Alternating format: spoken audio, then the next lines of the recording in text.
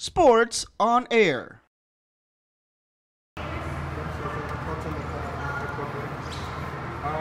you know, they fought really hard and kept it close the entire game. Actually, we was leading most of the game. Um, I think we locked down in the third and fourth quarter, which helped us push over that lead and um, take this victory. Pero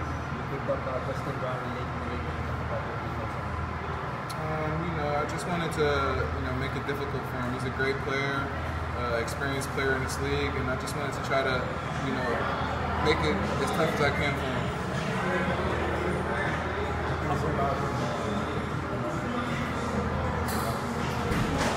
Um, he's a great scorer. He's very versatile.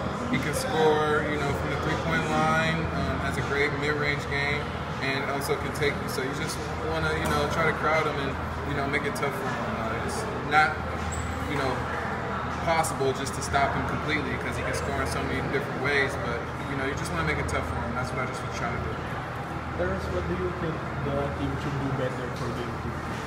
Um, I think we got a lot to work on, man. We're gonna watch film tomorrow, learn from our mistakes, and try to build that into the second game.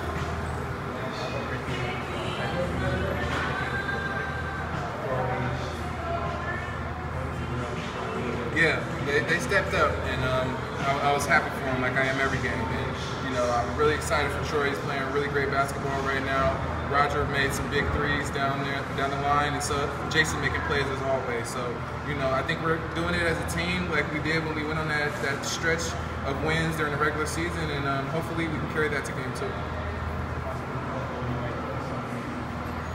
Yeah, it's very unfortunate. You know, I'm praying for him. Uh, all the guys, you know, were checking on him after the game, and um, he, he seems in good spirits. He seems like you know uh, he, he'll be all right. But you know, we never know. So we're just gonna you know hope the best for him and try to still prepare for game two.